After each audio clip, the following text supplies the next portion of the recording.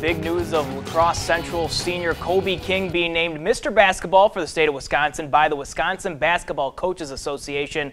King becomes just the second from the Coulee region to earn the prestigious award. The other was Scott Christopherson in 2007. The day could end with even bigger news. Kobe King and Central taking on Cedarburg for the Division II state championship midway through the first half. King with the monster block. And up the floor, La Crosse Central goes. Bailey Kale layup, and they lead 13 to 10. Cedarburg, they're going to try to slow down the pace of the game with minute plus possession. Central defense ended up causing the turnovers, and they turn it into points. Johnny Davis basket gives the Red Raiders a 21-18 halftime lead. There's those fans. They're happy about it. Second half, Kobe they're going to come out red hot, scores the team's first 10 points of the period and they go on to build a 10-point lead. Cedarburg comes back. Matthew Barber is going to splash the three-pointer. It's a 49-46 game. Then John Diener knocks down the triple. Bulldogs up 50 to 49, their first lead since the opening minutes. Central and Kobe, they come right back. He drives, hits the floater. Red Raiders back on top, 51-50. Then under 40 seconds to play, King is going to get the hit the wide open Kale for the easy hoop, 53-50.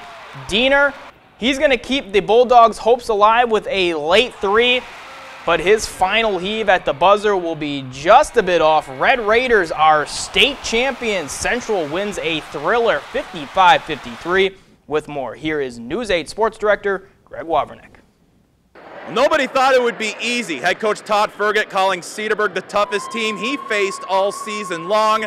A year after losing in the state semifinals, the Red Raiders finished the job this go around, winning 55-53 and capturing the program's first state title since 1925. We've worked a long time for this, and uh, not only for us, but for our families too. Our off season, uh, me and Bailey we really pushed each other a lot along with the other uh, seniors. So we knew we wanted to be back down here, and we knew we didn't finish down here the way we wanted to last year. And we wanted to go out the right way as a group. I mean, we've been working for this day uh, uh, every day since like fifth grade. So we wanted to go out the right way, and we weren't going to let anything stop us. Future Wisconsin Badger Kobe King played close to unstoppable in the second half, where he scored 21 of his 28 points and shot 9 of 13 from the field. When you got a guy who can score at will, you know, I think – I mean, what what are you averaging this year? 28.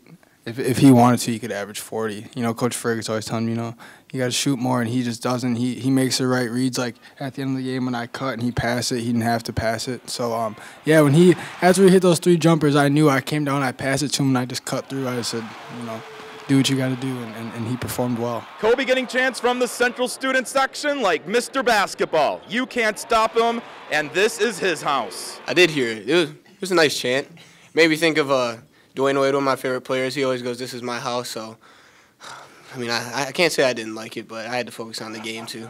Reporting with the Division II state champion Red Raiders, Greg Wavernick, News 8 Sports.